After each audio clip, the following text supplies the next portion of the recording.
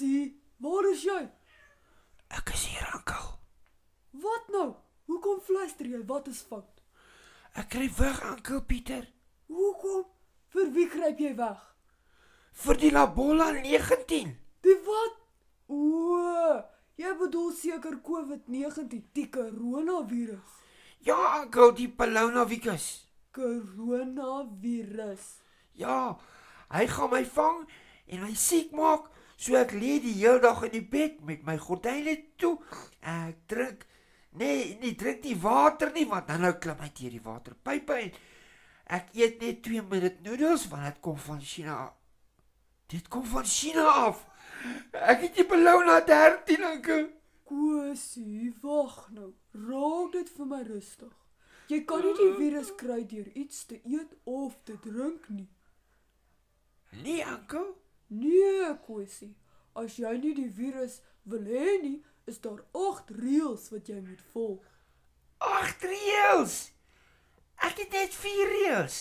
Bly in die bed, hou die gordyne toe, drink nie water nie en eet net uh, ek dink ek gaan maar eerder brood eet. Kom brood van China af, ankel. Kosie, mens kry nie die COVID-19 virus deur iets te eet nie, maar dit is wel belangrik wat jy eet. En dit is reël 1. Jy moet baie groente en vrugte eet. Suiker is baie ongesond vir 'n mens, soos sjokolades en gaskoeldrank. Ek mag Coke drink.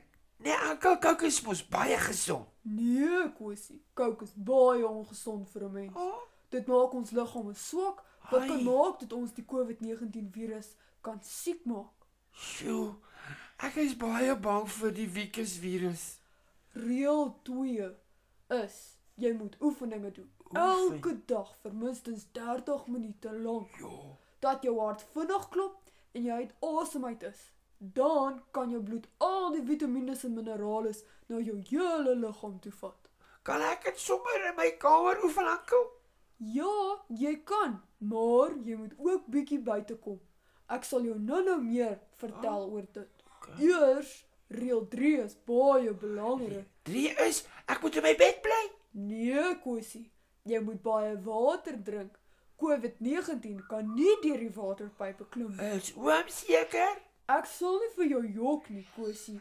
Water maak mense liggaam skoon, binne en buite. Jy moet nie minder as 8 glase water 'n dag drink nie. 8. Vir 8. Dis baie ek gaan baie piepie ankel. Dis 'n goeie ding, Kosie.